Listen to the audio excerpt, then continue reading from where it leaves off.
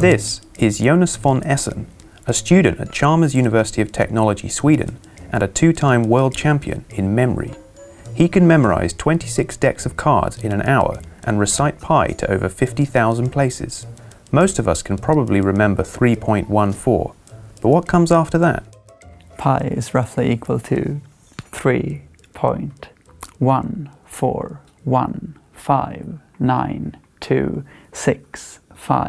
3.1415265353897 So, three. how does he do this? Uh, well, I use uh, memory techniques, and they are really the base of all of this. I, I absolutely couldn't do, do, this without these techniques.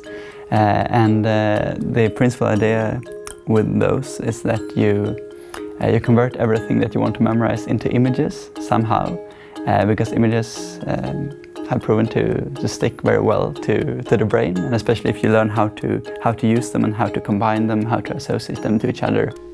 Jonas has been showing off his skills on TV shows all over the world. This year, he was one of the finalists on Sweden's Got Talent. I, I convert every three-digit number into an image. And there are several ways of doing this, but I'm uh, using a, it's like a small alphabet, but with, uh, with numbers instead of letters. Uh, so each digit between 0 and 9 has a, a, sound to it, and then you can sort of read lines of, of numbers as words, and then you can picture these words as images.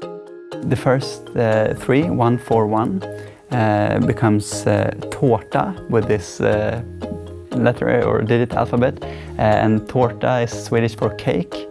Uh, so the first thing that happens is that I, I just see a, a, gigantic cake outside of my, my uh, door. Uh, and then the next thing is uh, 592 and that's a ghost. So there's a ghost coming up of this cake, like out of this cake. And then 653, it's a helmet. so this ghost is wearing a helmet. And that's like the first nine digits in one one scene, uh, like right out, out, outside the door. And then uh, yeah, then it continues with three new images put together and in the next location, and then three new and new, so nine digits at each uh, each spot along the way. And he has big plans for the future. Right now, I'm focusing mostly on this uh, pi, uh, these pi decimals.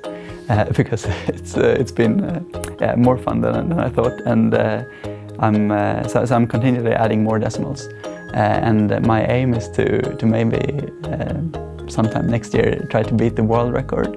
Uh, so the current world record is 70,030 uh, digits, but um, I think that it's, it's not so far away from 100,000, which is uh, quite a nice limit to try to try to pass.